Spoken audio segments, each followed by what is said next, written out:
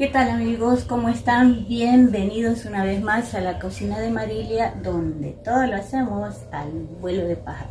Para el día de hoy le tengo tres recetas en una.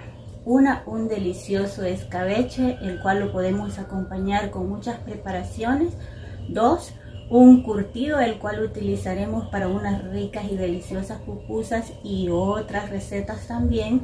Y una salsa de tomate Así es que si les gustan estas recetas, quédese conmigo y yo les doy el proceso y los ingredientes a continuación.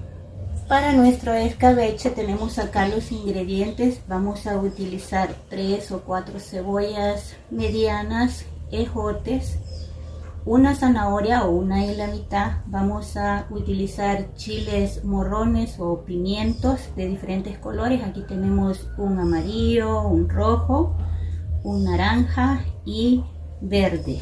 Y también para esta preparación vamos a utilizar una lata de jalapeños dos cucharadas de azúcar un poquito de orégano unas hojitas de laurel. Vamos a utilizar sal aceite vinagre y agua. Quédense conmigo y vamos a comenzar a preparar nuestras verduras para poder hacer este delicioso escabeche. Por acá tenemos nuestros cejotes, los cuales los vamos a partir por mitad. Si ustedes quieren lo pueden hacer con la mano o con el cuchillo. Vamos a partir todos por mitad según el tamaño que ustedes quieran, no importa. No importa si quedan del mismo tamaño o no. Lo pueden hacer, como les digo, con la mano o con el cuchillo. Ya tenemos acá nuestros cejotes. Estos cejotes ya los teníamos despenados, ya les habíamos quitado la, la venita que trae y están limpios, ya desinfectados también.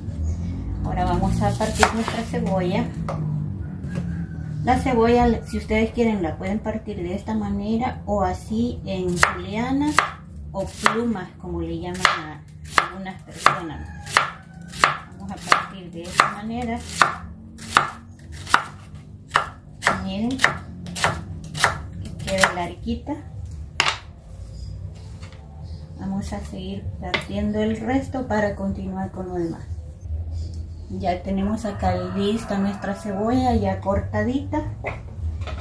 Ahora vamos a cortar nuestra zanahoria. Vamos a cortar con el largo que nosotros deseemos darle.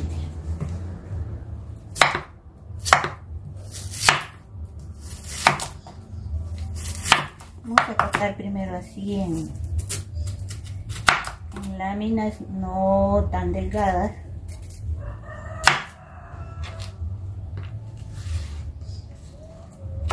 y luego vamos a hacer pequeños bastoncitos que no queden tan gruesos para que no cueste que se cocinen.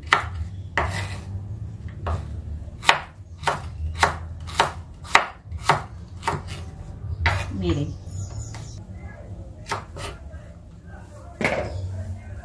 Ya tenemos lista nuestra zanahoria.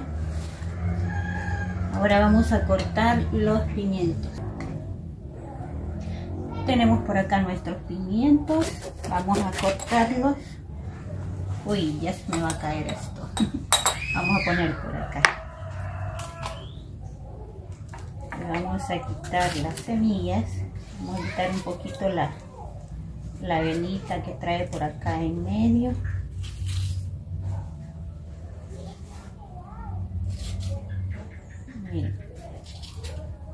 Los dejamos limpiecitos y luego cortamos julianitas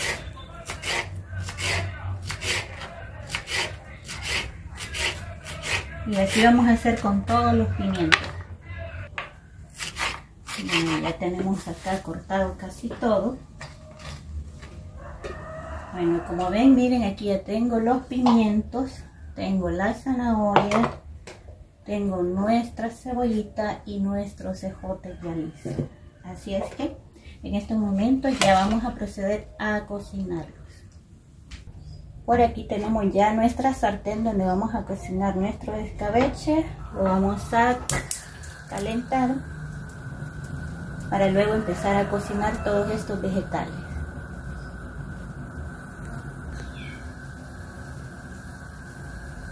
Ya está caliente nuestra sartén, le vamos a agregar un poquito de aceite, no mucho. Y vamos a agregar primero los ejotes porque son los que cuesta que se cocinen un poco más.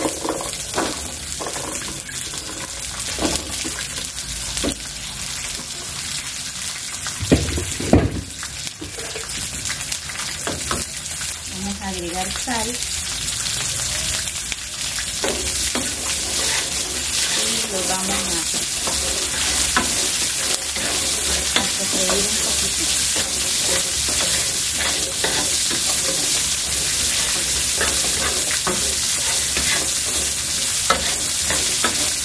cuando ya estos cojotes se pongan un poco verdecitos que comiencen a ablandar le vamos a poner la zanahoria.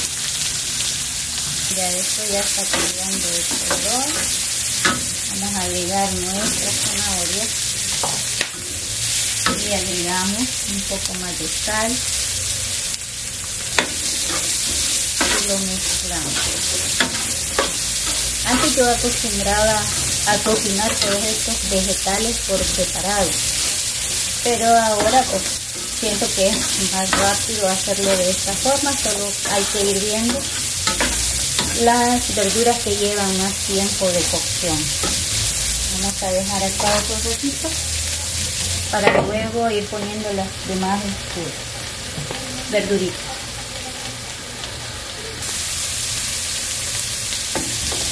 Miren, esto está quedando rico. Vamos a agregar aquí las hojitas de laurel para que vaya perfumando nuestras verduras, nuestros vegetales y vamos a esperar un ratito más a que empiece a ablandar la zanahoria para poder agregar el resto de vegetales.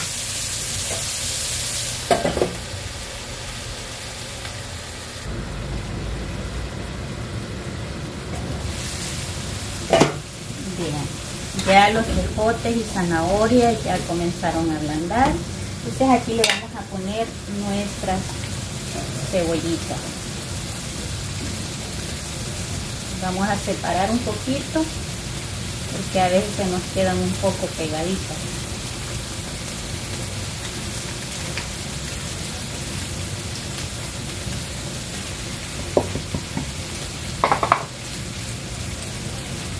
Vamos a poner más sal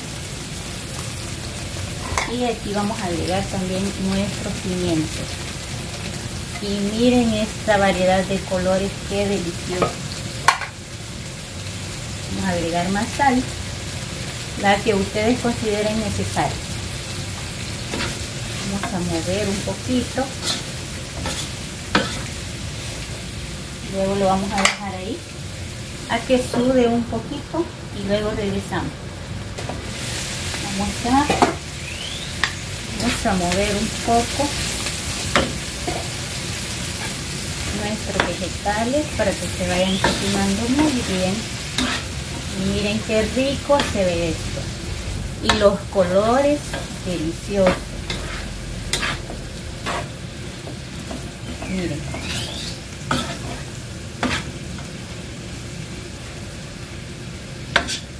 Vamos a dejar un poco más ahí a que se ponga un poquito transparente la cebolla y luego lo sacamos.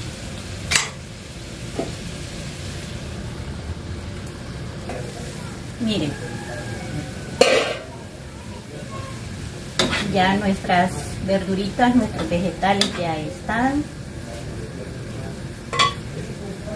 Vamos a sacar y los vamos a poner a escurrir un poquito.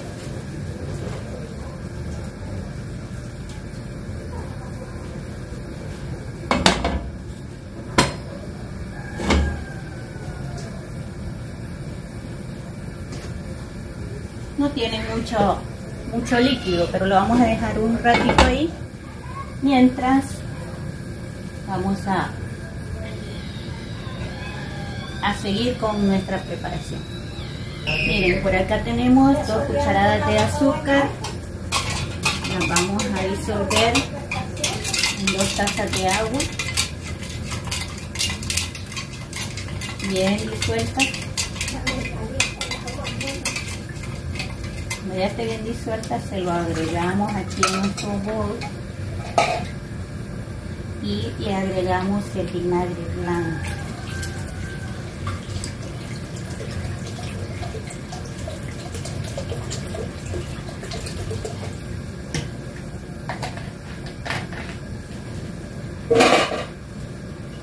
Vamos a mover, vamos a mover muy bien para que se termine de deshacer el azúcar que lleva. El azúcar y el agua es para balancear el acidez.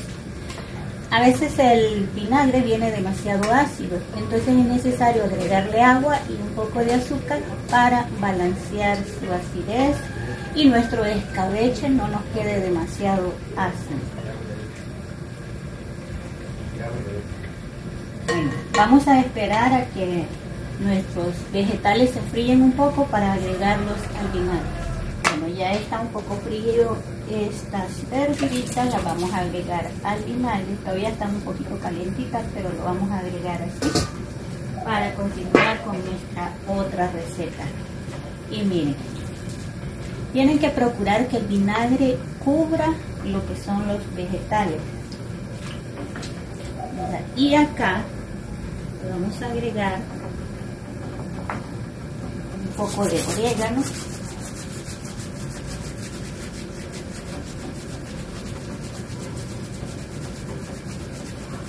vamos a deshacer así de esta manera porque el orégano le va a dar un aroma y un sabor delicioso a nuestro escabeche. Y aquí le vamos a agregar un poco de, de nuestra lata de chile jalapeño. No se lo vamos a poner todo. El juguito sí se lo vamos a poner todo y quizás la mitad de de los chiles picados que vienen ahí, porque a nosotros no nos gusta mucho el picante, así es que le ponemos poco a nuestras comidas. Y miren,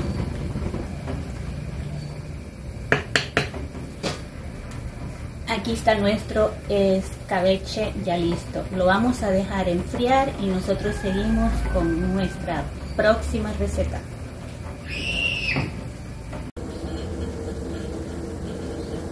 Para nuestra próxima receta vamos a usar un pedazo de repollo, un chile jalapeño, una zanahoria, una cebolla morada, cilantro, orégano, sal y vinagre que ya lo tenemos sirviendo para adelantar el proceso. Y vamos a comenzar picando nuestro repollo.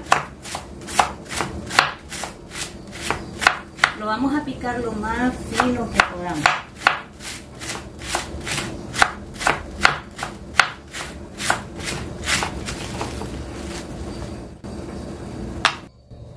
Por acá tenemos ya nuestro repollo picado. Vamos a agregarle agua caliente, ya la tenemos aquí lista. Lo dejamos unos cuantos segundos ahí. No lo vamos a dejar mucho tiempo porque no queremos un repollo recocido. Queremos que nos quede un poco crujiente. Así es que lo vamos a dejar un ratito y luego lo sacamos y lo escurrimos.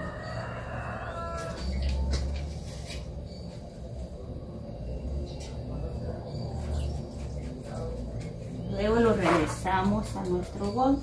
Estamos haciendo nuestra preparación. Y ahora sí.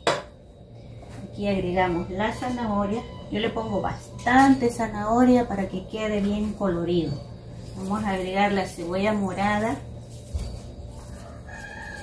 esto le da un sabor delicioso. El cilantro y el jalapeño. Vamos a echar todo.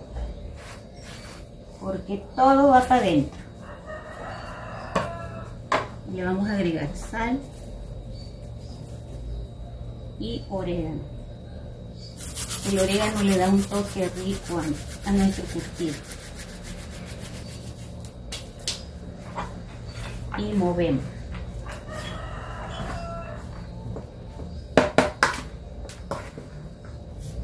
poner, pues se nos hace más fácil con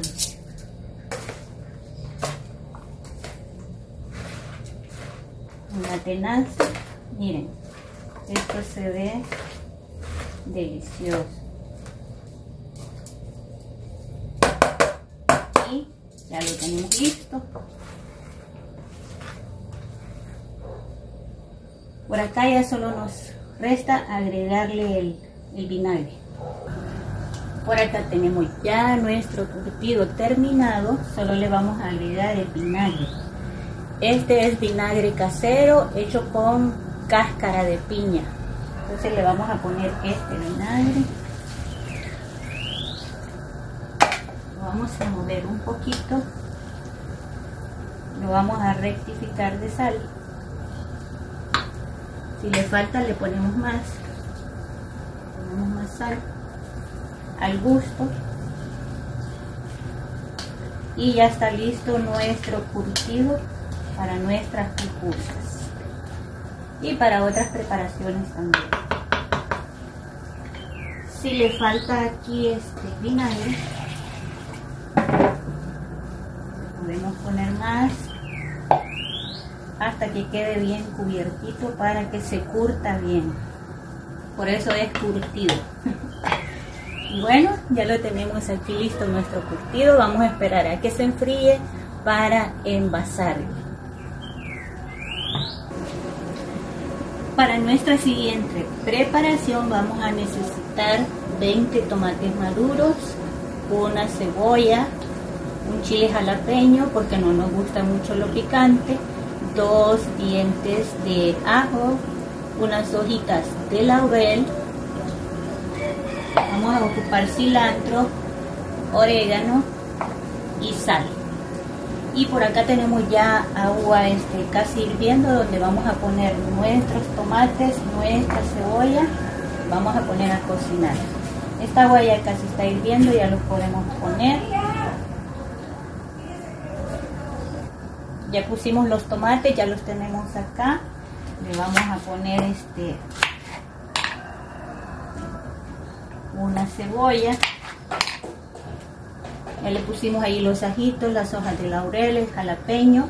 Vamos a esperar a que estén bien cocinaditos para luego licuarlos y poderles poner el orégano, el cilantro y la sal. Así es que esperamos hasta que estén nuestros tomatitos. Vean, por acá tenemos nuestros tomates. Ya están, ya están cocidos. Los vamos a sacar, los vamos a poner a nuestra licuadora para licuarlos. Acuérdense que aquí nosotros licuamos los tomates con todo y cáscara, no desperdiciamos nada.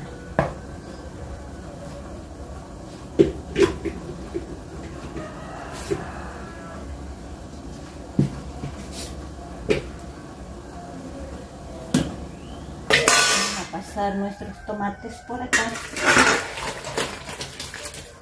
porque vamos a ocupar esa misma olla para volver a poner nuestra salsa.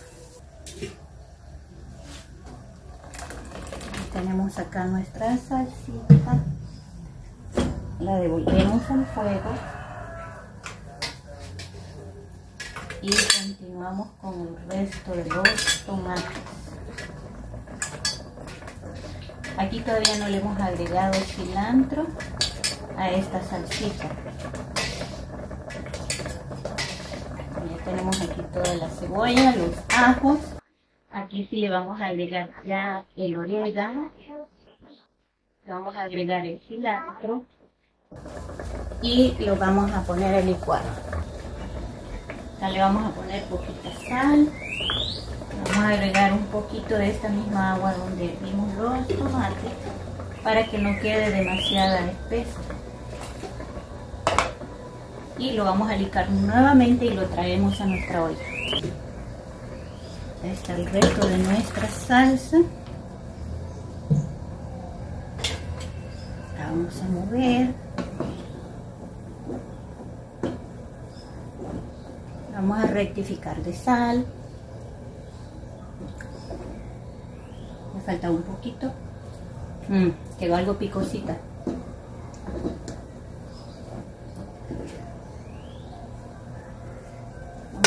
Un poquito más de nuestra agüita de los tomates porque la siento muy espesa.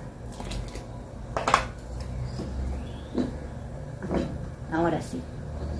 No tiene que quedar ni muy caldoso ni muy espesa. Vamos a esperar a que hierva y ya queda lista nuestra salsa.